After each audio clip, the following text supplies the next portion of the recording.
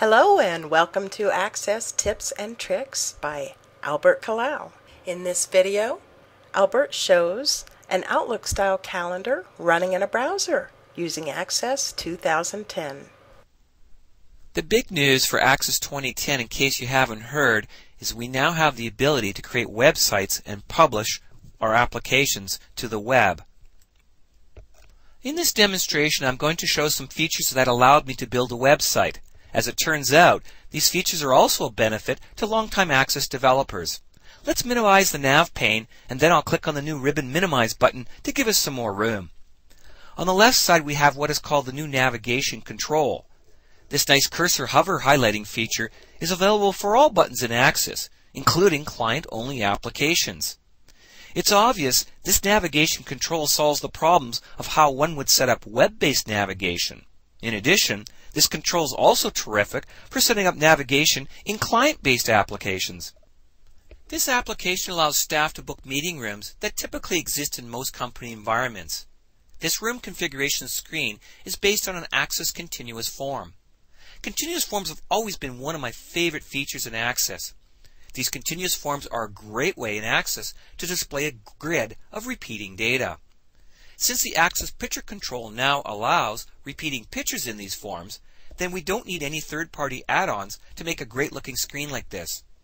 These picture controls open up so many possibilities for Access applications. That column of pictures could even be some type of graphic that shows the status of our project, or perhaps just a picture in a parts catalog display. Let's drill down further to open up the room details and configuration form. Again, we see that great picture control in action here. Here's another room, and to further show off the picture control, I simply added a few more pictures to that room. The end result is that now you can have multiple views of that room.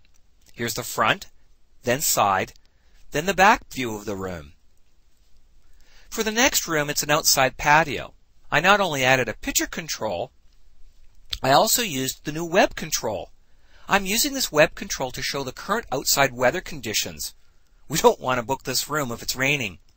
This web control is rather amazing since you combine the URL of this control to a column in your database. Here I bound the control to a URL that gives me the weather for this location. For different locations, it would be a snap to change the URL. I suppose you could even bind this control to a webcam URL if you wanted to. I can't even begin to scratch the possibilities of this new control.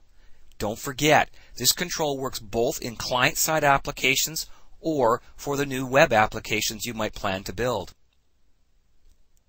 Let's now bring up this application in a web browser. The next feature I want to talk about is the new table triggers, or what we call data macros. Data macros are much the key to building web applications since they allow you to separate program logic from the user interface. While we're at this, I should point out that the fidelity and rendering of this application in a browser is first rate. There's no ActiveX or Silverlight required here, and yet our continuous form renders with a quality that rivals the desktop form. Let's take a look at the booking calendar I built. This full-size Outlook style calendar is simply a bunch of text boxes placed on a form. I then bound this whole form to a table in the database. Navigation to the next month is a few lines of code that sets the form's filter to the month and year. Everything else being bound on this form results in a silky smooth updating of this display, even in the browser. Most people tend to think of table triggers for things like aggregating sales totals.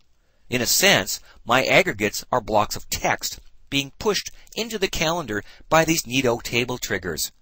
With so little code in the calendar, I can easily drop this form into one of your existing applications with great ease.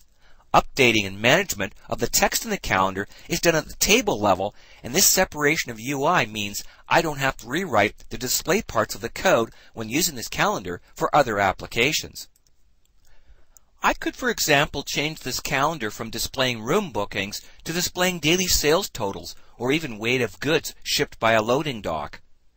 Note that each square is clickable and can launch forms to display details for a given day.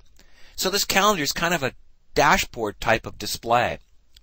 In this booking detail form, I wanted to avoid the user from having to dance from mouse to keyboard and back to mouse. so I built my own time picker control with four list boxes.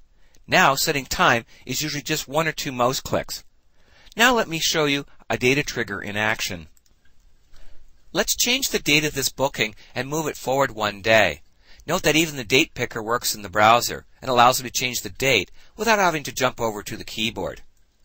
When this form closes, the continuous form below does have a requery command and thus now only displays one booking record for this day.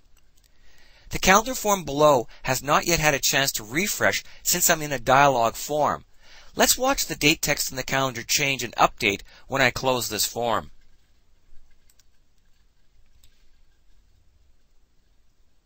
Is that neat or what?